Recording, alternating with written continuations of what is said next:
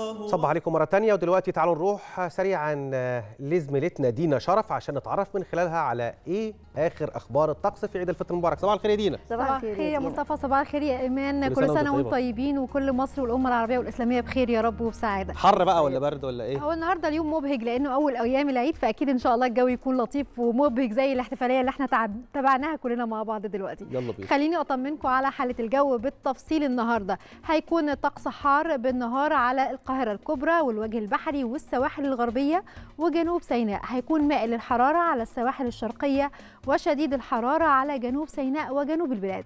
هيكون لطيف بالليل على القاهرة الكبرى وشمال الصعيد والوجه البحري ومعتدل على جنوب سيناء وجنوب البلاد. خلونا نعرف تفاصيل أكتر عن حالة الجو معانا على التليفون دكتورة منار غانم عضو المركز الإعلامي لهيئة الأرصاد الجوية. صباح الخير يا دكتور وكل سنة وحضرتك طيبة. صباح الخير على حضرتك أستاذة دينا وكل سنة وحضراتكم بخير. يا رب وكل المشاهدين بخير. حابين نطمن من حضرتك عن حالة الجو النهارده خصوصا أول أيام العيد.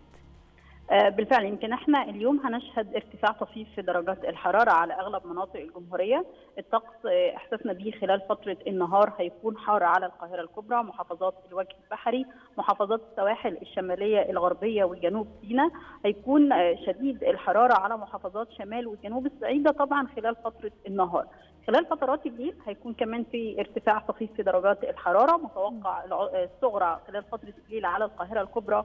تكون 19 درجة مئوية والجو هيكون لطيف على القاهرة الكبرى محافظات الوجه البحري محافظات طبعا جنوب سيناء هيكون كمان مائل للبرودة على سواحلنا الشمالية. بالإضافة كمان إن اليوم هيكون في بعد فترة الظهيرة ودخول ساعات المساء في نشاط للرياح. على القاهرة الكبرى محافظات الوجه البحري سواحلنا الشمالية. نشاط الرياح ده قد يكون مثير لبعض الرمال والأتربة في أقصى غرب البلاد زي مطروح وسيوة والسلوم. لكن طبعا نشاط الرياح ده كمان هيزود إحساسنا بتلطيف الأجواء خاصة خلال فترة المساء والأجواء الربيعية إن شاء الله خلال فترة المساء. بالإضافة كمان إن اليوم في فرص لسقوط الأمطار. أمطار هتكون كمياتها من خفيفة لمتوسطة على السلوم ومطروح. قد تمتد خفيفة جدا إلى الإسكندرية مساء اليوم. لكن مجمل الحالة الجوية إن شاء الله يكون في استقرار في الحالة الجوية. نقدر نتفسح ونقدر نخرج ونقضي طيب. أجازة العيد ده, بإذن ب- الله. ده بالنسبة طبعا حضرتك بتقولي إن في ارتفاع طفيف. هل مع ارتفاع درجات الحرارة في شبورة على الطرق الصحراوية والزراعية؟ خصوصا إن إحنا في فترة العيد بيكون ناس كتير قوي بتسافر. بالفعل يمكن كمان اليوم كان في شبوره مائية خفيفة على الطرق الزراعية والسريعة والقريبه من المسطحات المائية. لكن الأيام الجايه إن شاء الله برضو وجود الشبوره المائية هيكون خفيف. إن شاء الله مش هتأثر على حركة المرور آه تماما.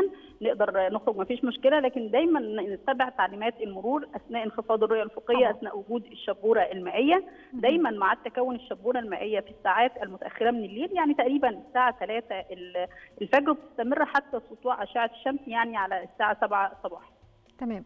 بشكر حضرتك طبعا شكرا جزيلا. الجو الحمد لله حلو. بشكرك دكتورة منار غانم عضو المركز الإعلامي لهيئة الأرصاد الجوية.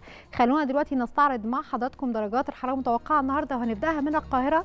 والعظمى 34 والصغرى 19 اسكندريه 33 17 مطروح 32 17 سيوة 35 18 بورسعيد 28 18 دمياط 28 18 الاسماعيليه 32 18 السويس 31 19 العريش 29 17 طابة 29 19 كاترين 32 14 شرم الشيخ 34 24 الغردقة 31 22 الفيوم 36 20 بني سويف 38 20 المنيا 40 21 أسيوط 33 22 سوهاج 40 23 قنا 40 24 الأقصر 40 25 أسوان 41 26 الوادي الجديد 41 24 شلاتين 34 20 وأخيرا حلايب 31 21 طمنا على حضراتكم عن حالة الجو الجو لطيف النهارده وخلال فترة العيد هيكون في ارتفاع طفيف في درجات الحرارة صباحا لكن مساء هتنخفض بعض الشيء. هرجع مرة تانية لمصطفى وإيمان عشان نكمل معاكم فقرة صباح الخير يا مصر.